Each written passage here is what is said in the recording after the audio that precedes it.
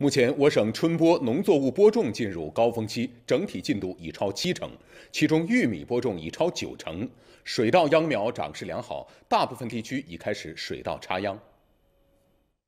进入五月中旬，铁岭市六十万亩水稻插秧作业全面展开，预计到六月初结束。现在这个天气挺好，插下去呢，呃，直接这个秧苗就活了，啊，因为这按照苗龄的三十五天、四十天之内呢没有问题。在阜新蒙古族自治县大固本镇的花生种植田间，农机手驾驶的新型播种机能够一次性完成起垄、播种、施肥等一体化作业工序，代替了以往的人工作业，不仅提高了劳动播种效率，更能增加产量。咱们实现实行这种那个技术模式以后，能达到两万株左右吧。就是说，这种模式呢，能靠群体增产，就是花生，就是能够使产量提高到七百斤以上。全省各地的农技专家深入田间地头，开展土壤伤情监测及科学施肥技术指导，手把手讲解春播管理的新技术新方法。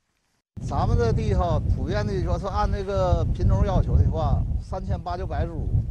株距的尽量控制在八寸到九寸之间就行。然后呢，这个肥呢，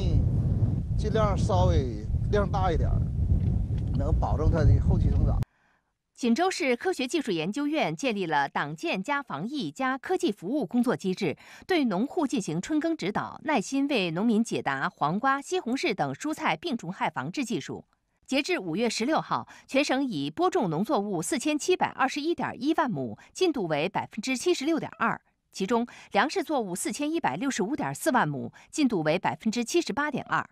油料二百七十一点六万亩，蔬菜一百七十点八万亩。其他春播作物一百一十三点三万亩。本台综合报道。